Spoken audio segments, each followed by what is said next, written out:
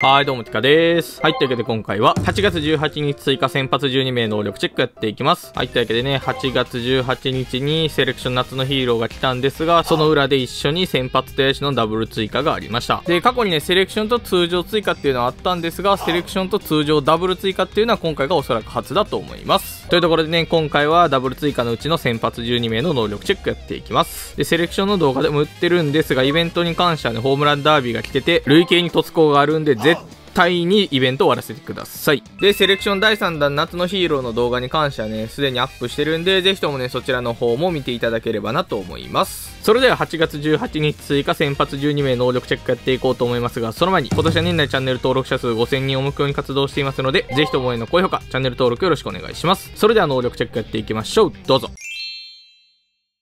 はい。というわけで、まずは阪神佐伯選手です。佐伯選手9位から75、75、70のデフォルトで9位請求同値となってます。で、去年のシリーズ2から能力変更はありません。で、投資適正が先発メインで突後で中継ぎ可能です。で、中継ぎ適正に関してはね、今シーズンが先発しかやってないっていうところとね、中継ぎ適正 F っていうところを考慮すると、おそらくね、シリーズ2で中継ぎ適正消えるんじゃないかなと思います。で、球種はこんな感じとなってます。で、一応去年からの変更点としては、フォークの球威が D から B に上がってます。というわけでね、B 球種1つになったんで、もう1つね、B 球種つけば結構ね、リーグ的にはありがたい投手となります。で、特徴力が切れタイピンチ玉持ちというわけで、奪三振が消滅して玉持ちがつきました。で、この佐伯選手に関してはね、通常 A ランクが約5年ぶりに排出されたっていうところでね、昨シーズンは通常 S ランクのみだったっていうところで限界突破しづらい方も多かったかなと思いますが、今シリーズに関してはね、まだ限界突破しやすくなったんじゃないかなと思います。続いてプロスペ初登場、巨人横川選手です。9位から72、72、70のデフォルトで9位請求同値となってます。で、一見ね、全同値狙えそうなんですが、スタミナプラスにすると9位がプラスにされるんで、全同値は狙えません。で、投石性が先発メインで突後で中継ぎ可能です。で、球種に関してはこんな感じです。で、特殊能力が援護、キレ打たれ強さとなってます。続いて広島玉村選手です。9位から73、71、74の称号で全同値が狙えます。で、去年のシリーズ2から請求がプラス7されています。というわけで、請求プラス7されたことにより全同値が狙えるようになりました。で、投石性が先発のみで、球種に関してはこんな感じとなってます。というところでね、上2シームが追加されてます。で、特殊能力がキレ内角玉持ちというわけで、タイピンチと伸びが消滅してキレと内角がつきました。というわけでね、上2はついたんですが、タイピンチが消えちゃいました。続いて中日版初登場中日涌井選手です。9位から74、79、79の称号で請求スタミナ A 同値が狙えます。で、最後に出た通常 S ランクが2年前の楽天版で、そこからの能力比較としては9位がマイナス4、請求スタミナがマイナス1されてます。で、最近ね、西武版の TS 出たんですが、西武版の TS の方がね、強いんで、西武版の TS 持ってる方はね、西武版の方がいいです。で、投資適性が先発のみで球種がこんな感じとなってます。で、西武版にはない小屋シーンを持ってます。で、特殊能力は超コントロール緩急玉持ちというわけで、楽天版だとね、超対ピンチコントロール対強打者だったんですが、対ピンチと対強打者が消滅して緩急と玉持ちがつきました。というわけでね、まあ、中日純正の方はね、この涌井さん獲得したらいいかなと思いますが、まあ、12球団でね、涌井さん使ってるよっていう方とかね、まあ、楽天純正の方に関してはね、継承しない方がいいと思います。続いて通常 S ランク初登場オリックス山下選手です。9位から77、70、64の称号で9位 A が狙えます。で、前回登場した時が2年前の覚醒で、そことの能力比較としては9位がプラス8、請求がプラス14されてます。で、投石性が先発のみというところで、覚醒出た時はね、中継ぎ適正 C だったんですが、中継ぎ適正が消滅してます。で、球種に関してはこんな感じで、新たにフォークが追加されました。で、特殊能力が伸び脱三振、尻上がりというわけで特に変更ありません。続いてソフトバンク藤井選手です。藤井選手シリーズエキサイティングで登場済みです。で、能力のが9位から80、59、64の完全球威型のデフォルトで球威となってます。で、去年のシリーズ2から制球がマイナス1、スタミナがプラス1されてます。で、今年のエキサイティングからはマイナス1のみとなってます。で、投適性が中継ぎメインから先発メインに変更されていて、凸なしで中継ぎ凸後で抑え可能です。で、球種に関してはこんな感じで、B 球種以上2つ持ちで、フォースラ縦スラ持ちとなってます。で、特殊能力は超剛速球、キレ奪三振というわけで、順番が入れ替わったのみです。続いて1年ぶりの通常 S ランク登場、西武今井選手です。今井選手シリーズはエキサイティングで登場済みです。で、能力のが球威から79、57、79のデフォルトで球威スタミナ同値かつ称号で球威スタミナ A 同値が狙えます。で、1年前の通常 S ランクから球威がプラス1、制球がマイナス1されてます。で、エキサイティングからはマイナス1のみとなってます。だけでね、この今井選手に関しては称号で9位スタミナ A 同値が狙えます。で、投石性が先発のみで球種がこんな感じとなってます。というわけで、新たにね、カットボールが追加されてます。まあ、ただしね、B B 球種が2つから1つに減ってます。で、特殊能力はキレ剛速球対ランナーとやける奪三振が剛速球に変更されてます。続いて1年ぶりの S ランク登場、楽天竹中選手です。9位から70、73、72の、小5で9位請求同値か請求スタミナ同値が狙えます。で、前回の S ランクは9位がマイナス3、請求がマイナス3されてます。で、投石性が先発のみで、中継ぎ適性が消滅してます。で、球種に関してはこんな感じで、まあ、特に変更はありません。で、特殊能力がキレ緩急内角というわけで、超体ピンチと安定感が消滅して緩急と内角がつきましたというわけで、リアタイで使ってた方は、前回のものの方が強いです。続いて3年ぶりの通常 S ランク登場、ロッテ種市選手です。9位から75、68、76の称号で9位スタミナ同値が狙えます。で、前回登場した時から9位がマイナス1、請求がプラス5、スタミナがプラス1されてます。で、投石性が先発のみとなっていて、中継ぎ適性が消滅しています。で、球種に関してはこんな感じで特に変更ありません。で、特殊能力が奪三振、キレ、伸びというわけで、タイピンチが伸びに変更されました。続いて日本ハム鈴木選手です。9位から73、68、71の称号でスタミナ型が可能です。で、投石性が先発メインで凸なしで中継ぎ可能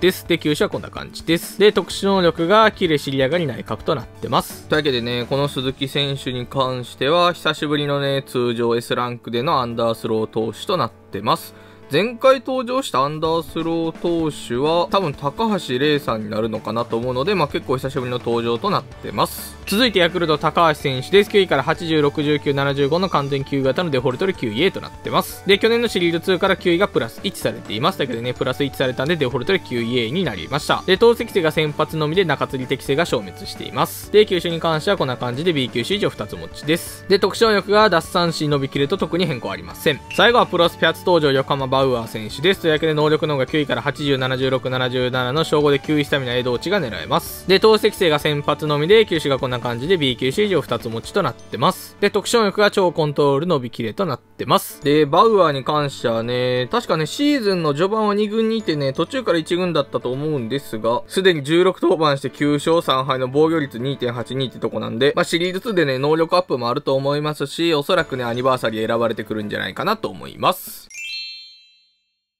はい、というわけで今回は8月18日に登場となった先発12名能力チェックやっていきました。いかがだったでしょうか？いや、というわけでね、今回追加された先発陣に関しては、多分ね、全員最近 A ランクが排出された選手だと思うんで、A ランク排出されてなくて限界突破しづらいっていう選手はね、いなかったはずです。というわけでもしよければ今回の先発に皆さんが欲しい選手いましたらコメント欄で教えていただければなと思います。それでは今回の動画はこの辺で終わりたいと思います。今年は年内チャンネル登録者数5000人を目標に活動していますので、今回の動画参考になったなと思ってくれた方はは、ぜひとも高評価、チャンネル登録よろしくお願いします。また Twitter もやっていますので概要欄からフォローよろしくお願いします。それでは今回の動画はこの辺で終わりたいと思います。今回も最後までご視聴いただき、ありがとうございました。